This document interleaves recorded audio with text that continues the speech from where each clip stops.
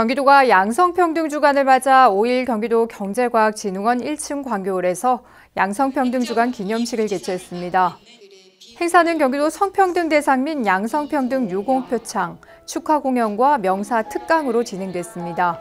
또 세상을 변화시킨 여성 이야기 전시와 불평등 호칭 개선 캠페인 등 부스가 마련됐습니다.